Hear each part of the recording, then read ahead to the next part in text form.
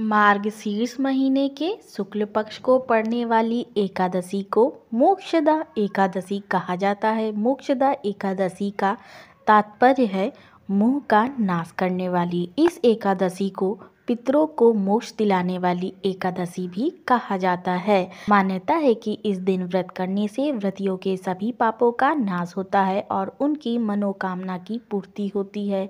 यह सभी प्रकार के भोग दिलाने में उत्तम मानी गई है। इस दिन गीता जयंती भी मनाई जाती है क्योंकि इस एकादशी के दिन भगवान श्री कृष्ण ने कुरुक्षेत्र की रणभूमि में अर्जुन को गीता का ज्ञान दिया था। तो आइए जानते हैं, साल 2022 में मोक्षता एकादशी कब है? एकादशी तिथि, उसका पारण। मगर उससे पहले वीडियो को लाइक कर दें और अगर मेरे चैनल पर नए आए हैं तो जल्दी से जाके चैनल को सब्सक्राइब कर दें। तो चलिए वीडियो शुरू करते हैं। साल 2022 में मोक्षदा एकादशी 4 दिसंबर 2022 दिन रविवार को है।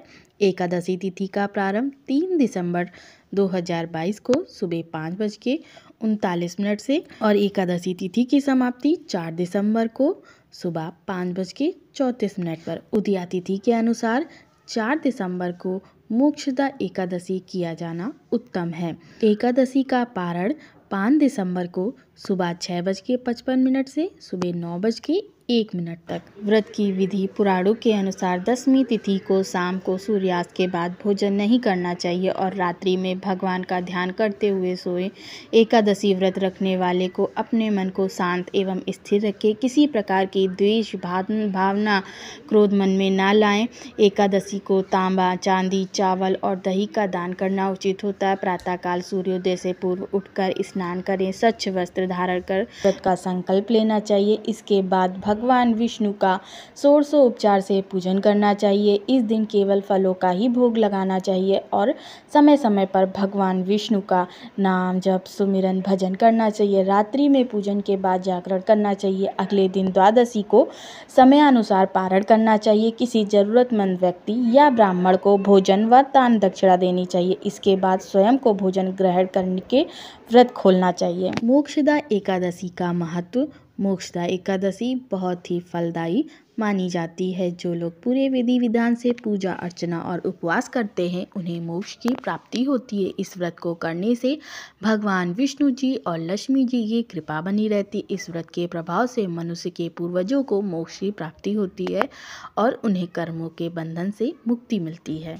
मोक्षदा एकादशी की कथा श्री कृष्ण ने युधिष्ठिर को सुनाई थी। प्राचीन काल में चंपक नगर नाम का एक राज्य था, जिसमें एक वैखानस नामक राजा राज्य करता था। वैखानस के राज्य में चारों वेदों के ज्ञाता ब्राह्मण रहते थे। राजा वैखानस को अपना राज्य बेहद प्रिय था। वह अपनी प्रजा को पुत्र की भांति पालन करता था। एक रात राजा को बहुत बुरा सपना आया। उसने देखा कि उसके पूर्वज नरक में पड़े हैं। यह देखकर वह बहुत दुखी हुआ। वो उन्हें नरक से निकालने की गुहार लगा रहे थे। राजा ने ब्राह्मणों से कहा, हे ब्राह्मण देवता, यह देख मुझे बहुत दुख हो रहा है। मैं उन्हें नरक से बाहर निकालना चाहता हूँ। इसके लिए मुझे क्या करना चाहिए? ब्राह्मणों ने कहा, हे राजन, यहाँ पास ही में एक ज्ञाता पर्वत ऋषि का आश्रम है, जो भूत भविष्य वर्तमान के ज्ञाता है। वहाँ आपकी समस्या ज़रूर हल हो जाएगी।